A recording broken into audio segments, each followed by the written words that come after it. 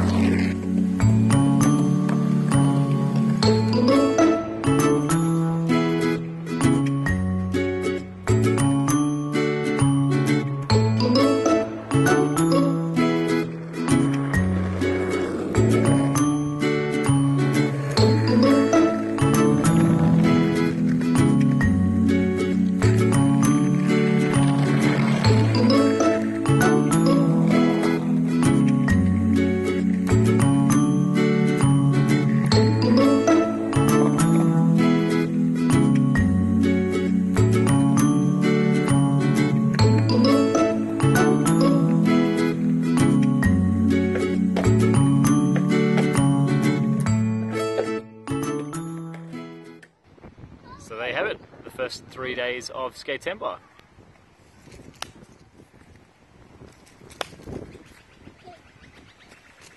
Ah, all right.